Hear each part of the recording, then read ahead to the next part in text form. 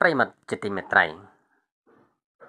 សំមុខបាទក្រោយល្បីរឿងនេះលោកជំទាវហ៊ុនស៊ីណាតជូនពានរង្វាន់កោតថ្មីមួយឲ្យពូចកហើយដាក់ចំណងជើងថាបាទចំណងជើងថាម៉េចបាទបាទក្រោយពីស្ងប់ស្ងាត់មួយរយៈនោះបាទកាលពីពេលថ្មីថ្មីកន្លងទៅនេះស្រាប់តែពូចកបាទលេចវត្តមាន live វីដេអូសារជាថ្មី ជាមួយនឹងស្នាមរបួសលើចិញ្ចើមបាទហើយរៀបរាប់រឿងត្រូវភរិយាប្រើទូរស័ព្ទវាយធ្វើឲ្យបែកចិញ្ចើមបាទបង្កឲ្យមានការចាប់អារម្មណ៍ម្ដងទៀតបាទនៅក្នុងការ live កាលពីយប់ថ្ងៃទី28ខែតុលាឆ្នាំ2022កន្លងទៅនេះបាទពូចកបានបង្ហាញស្នាមរបួសលើកន្ទុយភ្នែកបាទហើយក៏ប្រាប់ថាកើតឡើងដោយសារតែឧបតវហេតុបុកឈើបាទ ដើរនៅពាក់កណ្ដាលបាទដល់តែនៅពាក់កណ្ដាលឡាយបាទលោកក៏បានទម្លាយថាត្រូវភរិយាប្រើ13 Pro បាទ13 Pro Max ធ្វើឲ្យលោកបែកកន្ទុយភ្នែកបាទបញ្ចុះបានបន្តថាលោកបានលះបង់កិត្តិយសដើម្បីបដូរយកការស្រឡាញ់សុកចិត្តឲ្យគេប្រមាថដូចជាសัตว์បាទអញ្ចឹងការលះបង់របស់លោក គឺអស់ហើយបាទមានតែប៉ុណ្ណឹងបាទហើយលើកនេះមិនដឹងថាត្រូវលះបង់អីទៀតទេ បាទលោកថាបើលះបង់របស់លោកបានមកវិញនៅសុភមង្គល បាទគឺលោកអត់ខ្វល់បាទអត់ខ្វល់ជាមួយនឹងមនុស្សនៅជុំវិញទេ បាទអត់ខ្វល់ពីមហាជន បាទតែវាមិនបាន បាទមិនបានមកវិញដោយការរំពឹងទុកនោះទេ បាទអញ្ចឹងលោកមិនដឹងថា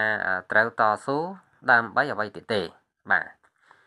បាទអញ្ចឹងងាកមកមើលលោកជំទាវហ៊ុនស៊ីណាត បាទដែលធ្លាប់តែខ្នះខ្នែងជួយអ្នកអធិប្បាយបាល់ទាត់ល្បីរូបនេះ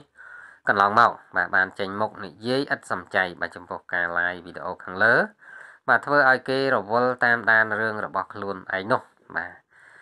លើពីនេះលោកជំទាវក៏បានថែមទាំងផ្ដល់ពៀនបាទផ្ដល់ពៀនកោតថ្មីមួយឲ្យពូចកថែមទៀតផងបាទបាទឲ្យពៀនអញ្ចឹងហ្មងបាទមកចែករំលែកវីដេអូបាទនិយាយពីរឿងរ៉ាវពូចកនោះបាទលោកជំទាវហ៊ុនស៊ីណាតបានដាក់ចំចំឥតសំចៃថាបែកក្បាលអញ្ចឹងហើយ មកអួតគេឯងឲ្យដឹងទៀតបាទអត់ចេះខ្មាស់គេទេអីបាទបានអ្នកមើលគេមិនជួយអាណិតអីជួយជេរថែមទៀតបាទបាទសំមកហើយក្មួយអឺម៉ានក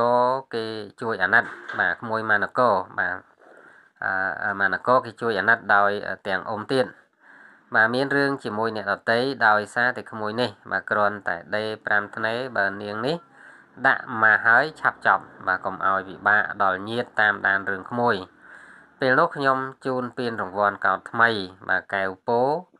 បាទកែវពោធិស័តឲ្យមកស្អាតបាទឲ្យស្អាតមួយ